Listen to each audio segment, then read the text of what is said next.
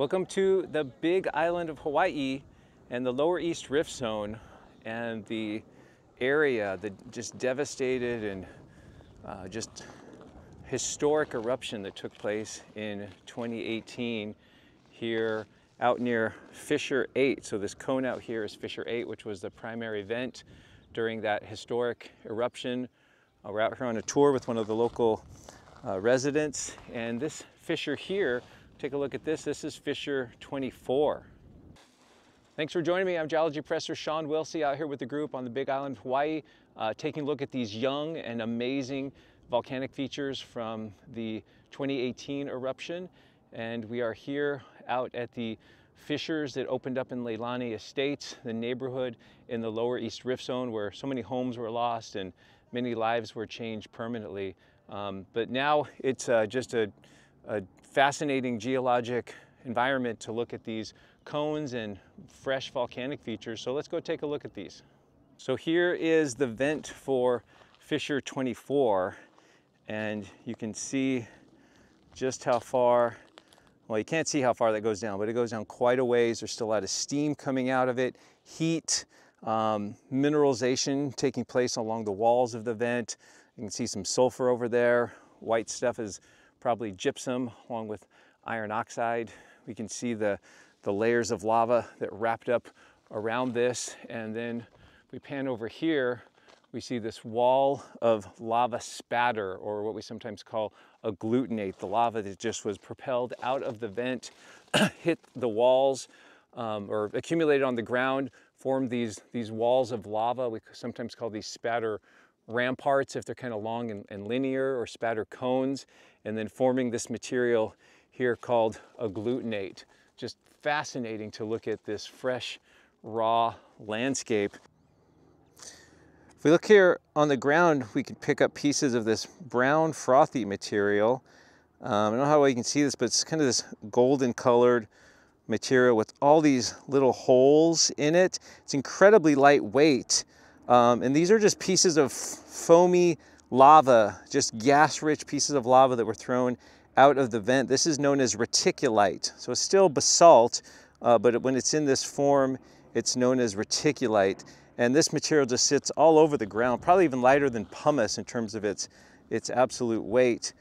Um, but this stuff's just all over the ground in different places. So again, this big ridge of spatter um, that was built up around the eruptive fissure. And coming down to this secondary vent over here we can see some of the the sulfur deposits on the walls kind of staining the walls there of the vent. Here we have some of the Pele's hair that you find from this eruption at Fissure 8. And this is all found just on the ground with all this reticulite, uh, this real frothy stuff. You can see places where you just dig down a little bit and then you start seeing the little filaments, the little uh, strands of Pele's hair. So again, this just speaks to um, the explosive nature of the eruption, all the foam and frothy clots of lava, gas-rich pieces of lava that were thrown in the air.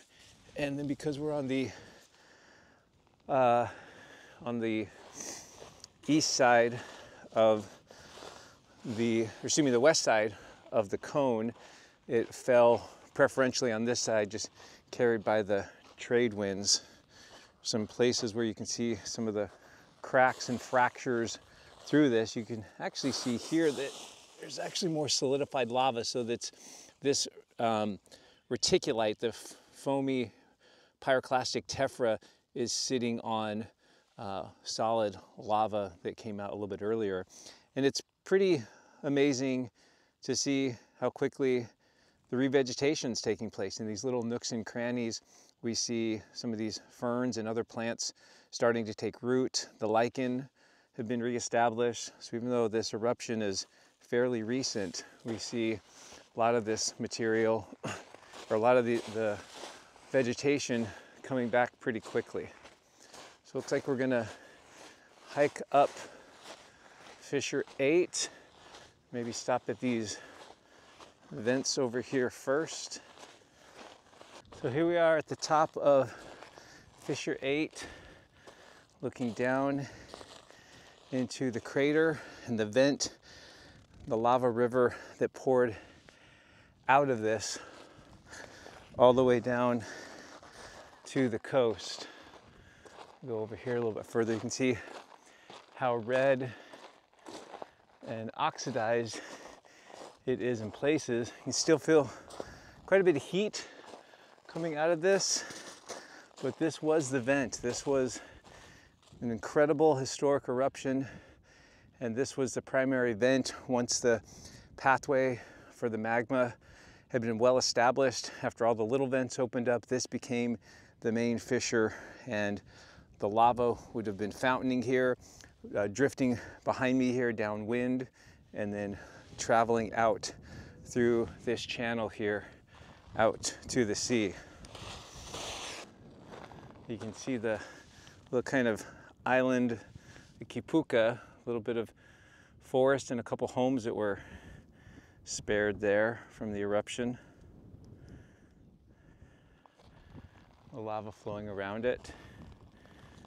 And then just look around the landscape here at Leilani, Leilani Estates. Here's these small cones on the flank down towards Fissure 24. Just incredible, just the, the power of this event and what it did to this landscape here.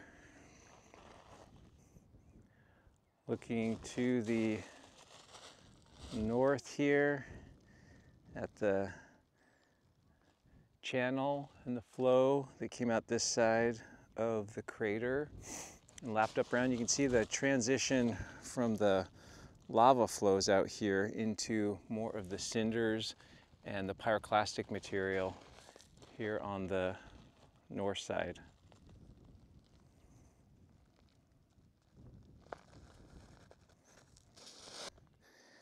Nice view here of these spatter cone vents that are still degassing and steaming that lead down towards Fissure 24 there, the edge of the forest off to the west.